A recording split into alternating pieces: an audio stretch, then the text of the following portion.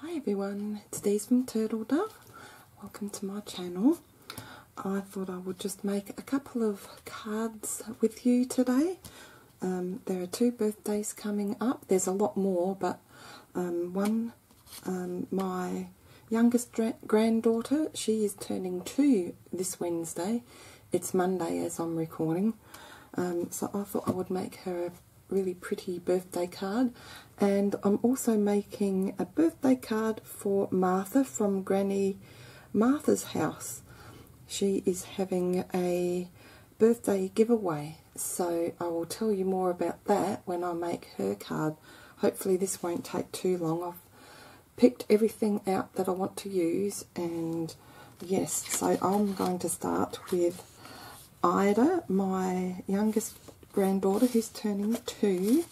She's really cute. um, so yeah, I thought I would make her a unicorn card. And I always buy pre, um, well, coloured cards, you know, made up with envelopes. I'm useless at making envelopes.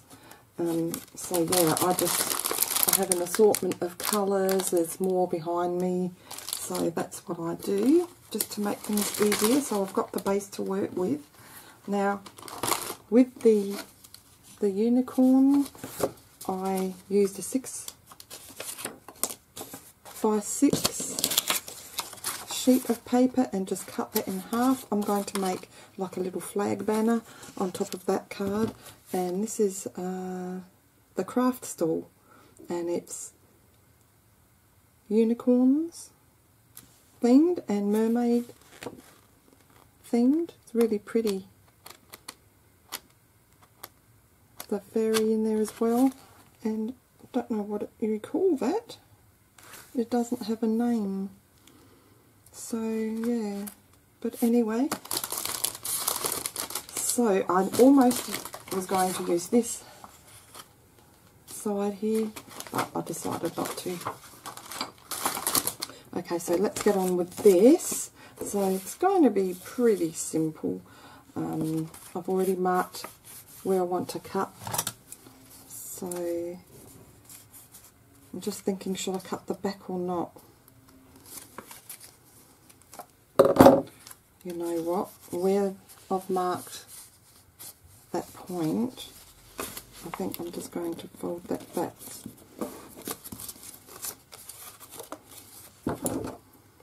and I may cut that off and I may not. So it's just cut down. So yeah, we'll be seeing Ida next weekend because her other grandparents are coming down from New South Wales and they'll be busy during the week so I think um, my son and his partner decided to have something for our side of the family at their home. Okay, and I'll have a straw as well. And I'm going to place that in there and then cut it down. But before I do that, I might decorate the banner which is going to be pretty simple. I've just got a star. Actually, no, I'm going to stick it down first. Okay, let's do the straw. So, I haven't made some cards for a while, so I'm just going to eye it and cut that down. I'll keep that other end for another time.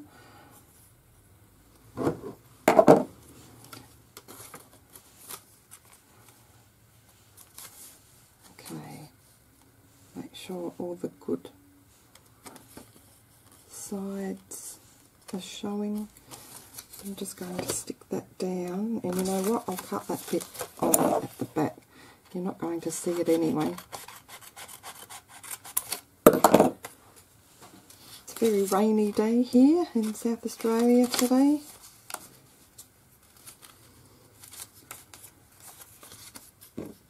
I just heard my garbage bins being emptied by the truck.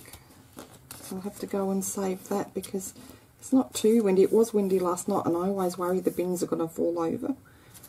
Okay, so let's glue that down. I actually should have heated up my glue gun, but actually this one's almost empty, so I'll use this one here. I go through this fabric glue so quickly, but it's good because it's thick and it does dry fairly quickly. So let's just glue that down nicely.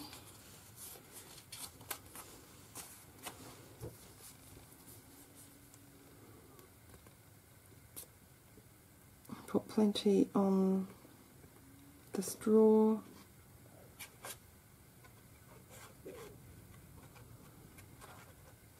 So the straw doesn't move around.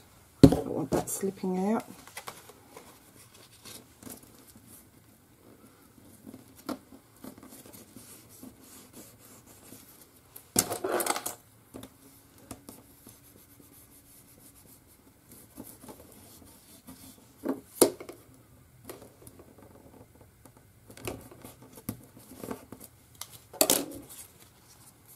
Okay. And then we're going to get the card.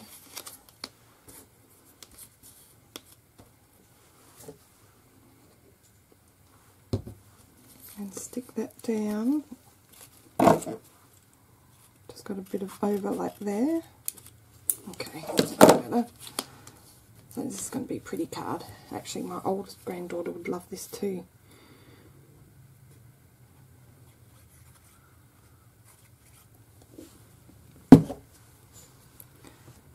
So put that just like that.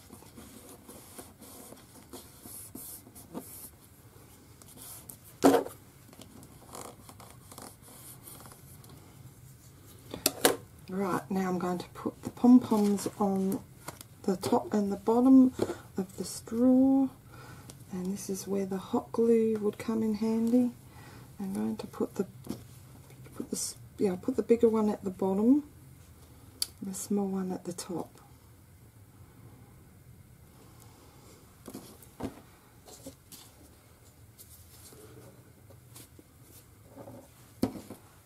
Changed my mind. I'm going to do that last because I want to do some stamping inside.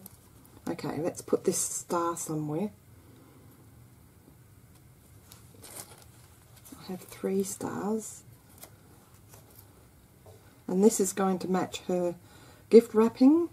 I did a gift wrapping ASMR video wrapping up um, Ida's gifts. So, should I put three or two? Actually, I think I'll do that. I think that looks pretty like that. Yes.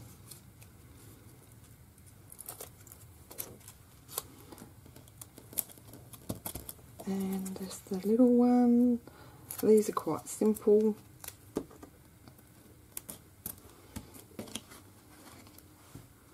And then I have this flower. Should I put the flower on somewhere? Just cut this wire off and have a look.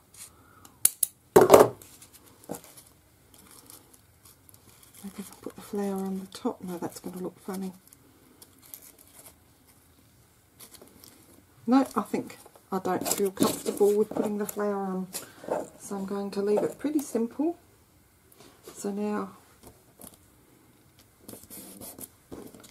I'm just going to stamp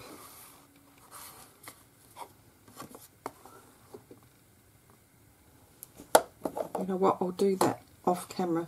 I'm going to stamp a happy birthday and then created by me, of course. So I'll put that in the middle and then I could even put another star inside. So that's what I'll do there. But I'm not going to mess around with that now because it's just going to smear the ink. Okay, so let's just put these little pom-poms on. And put plenty of glue. And then I'll just let, set that aside and that can that can just um, dry for a couple of hours and then I'll stamp and finish it off. And there's something else I want to put on there. Now really, I need the hot glue for this. Otherwise, then that way, if you use a hot glue, you don't have to wait so long for the drying. So, okay, so that's going to look really cute. I'm going to finish it off with we'll use pink. I'm going to finish it off with a little pink flat backed Jimmy. I'm going to put that right there.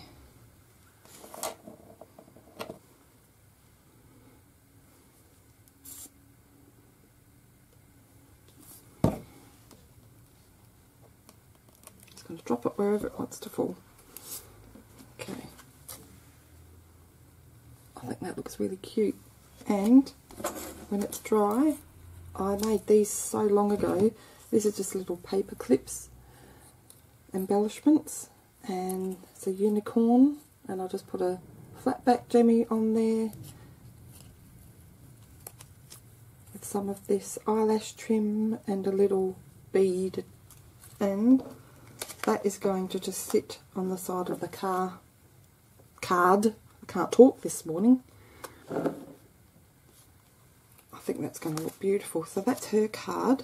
Just going to put that behind me and take that with me. Martha. Martha's card. So I made these embellishments a while ago. I've got a pot of them and I found this in my stash as well with an envelope. So this is what I'll be sending Granny Martha now, let's see just quickly. I will leave the link to her giveaway video in the description for you. But she's having a birthday giveaway. It starts on the June the 16th uh, right through to July the 31st. And all she wants is a card. So um, I will leave that link below for you. So do go and watch her um, video. She's got all the details there for you. And she's left her address in her description of that video as well. And she is such a sweet lovely lady. Um, so yeah I'll be sending her a birthday card. Unfortunately I won't be able to partake in a lot of um, challenges um, for the next few months because postage is just getting ridiculously expensive and I have noticed even um, challenges now a lot of them don't like inter international entries because I don't blame them because um, you know postage is just ridiculous. So it's just getting harder and harder for me I'm not working and I don't mind sending cards um, but even that's getting expensive. That's $3.50 just to send a flat card. So, um, but yeah, this will probably be my last for a little while. As I said though, if they're cards and I can afford it at the time, I will be happy to send a card. But as far as anything else goes, I'm just going to have to lay back for a while. So cost of living's going up, food's going up, everything's going up. And I think it's the same for everybody, wherever you are. Um, yeah, so it's unfortunate. Um, if I was working, it would be different, but I'm not working at the moment, so that's just unfortunately how things are. So plus I'm I've got a lot of projects on the go just for family and friends and um, I've got a dozen butterfly ornaments to make for my sister for Christmas and that's going to take me a long time. I'm in the middle of uh, knitting a scarf for my daughter. She's put in an order. Um, she would like a scarf for her birthday, which is in August. So I started that last night.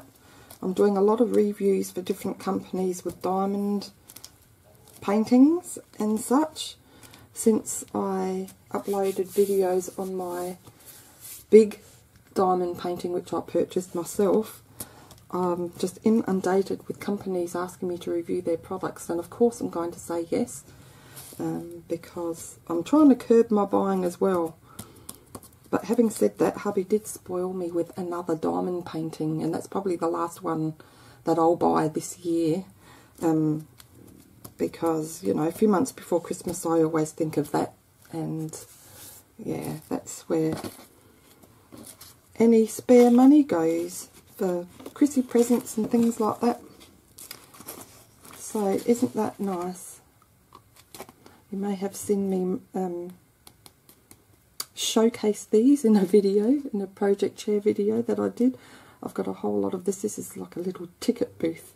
It's so cute. I love it.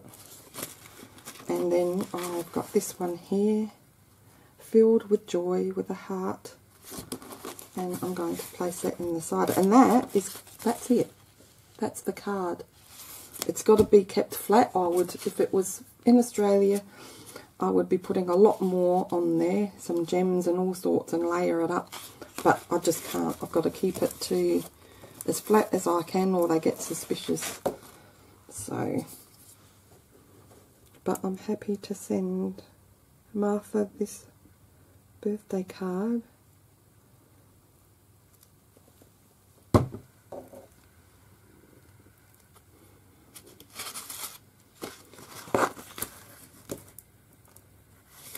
should I put it? On this side.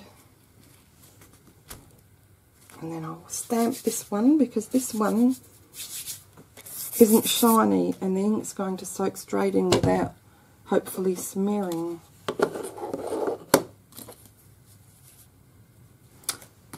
Right, I did want to put this somewhere as well. I'll do that last. So let's stamp this one and hopefully I won't make a mess of it. I like this little square because it's got lines on there and you can keep your stamp straight. It's just like a guide. So I'm just going to put that in the middle. And this is a waterproof ink, Inkon3, black out detail ink.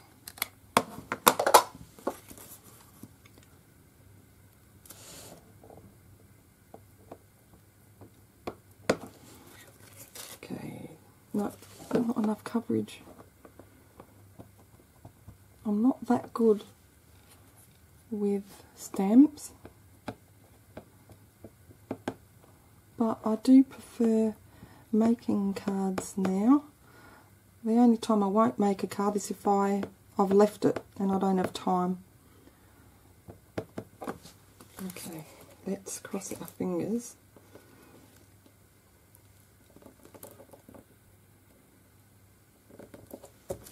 Yay!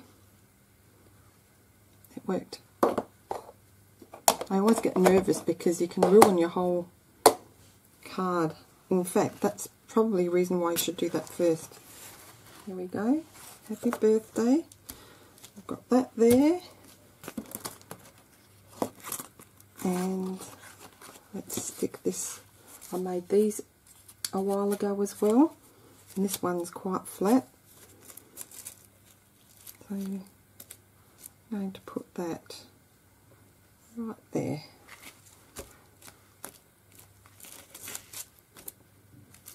And hopefully that should be flat enough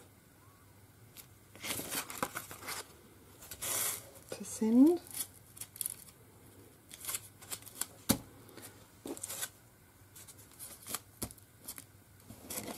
I had to take my phone out then. you know what, I'm going to leave this out because I'm scared it's going to be too um, too bulky. So let's see, can I put anything else there instead? I'll be right back. Okay, these are reasonably flat, so um, these were gifted to me.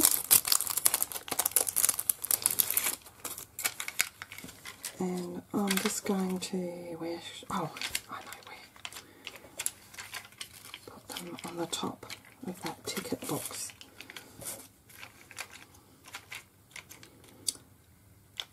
Use the light pink, and they're not very sticky at all, so I'm just going to put a little bit of glue on there.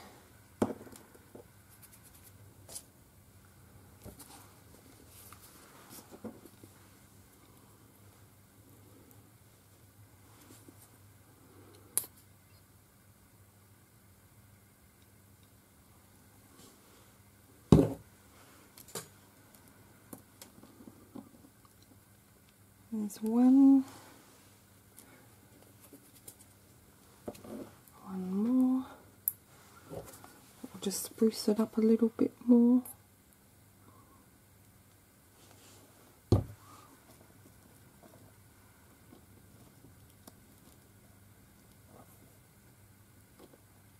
And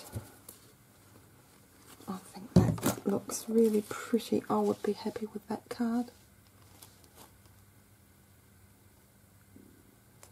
Sometimes less is best, I guess. It's really hard for me not to layer though. I love that. And I can put my little message there.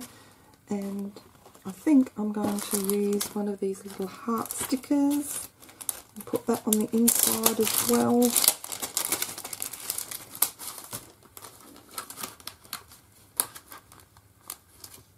Yep, they're sticky enough. And I'm going to one in the middle like that. That is Granny Martha's card. Okay guys, so I am going to knit today and well after I've cleaned the house I'm going to knit and then I'm going to do some more diamond painting. So yeah you'll see a bit more diamond painting and reviews for a little bit. And yeah, I haven't been paper crafting much at all because I just haven't had time with all the other crafting that I'm doing.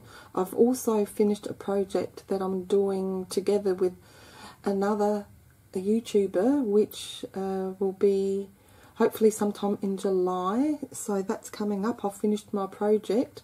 I've just got to film uh, the end result so stay tuned for that one as well. So do remember to go and check out uh, Granny Martha's house, the video for her giveaway if you want to join that. Thank you so much for watching everyone. I do appreciate all your comments and views and your support and I hope you have a wonderful day or night wherever you are. Look after yourselves and we'll see you next time. Bye for now.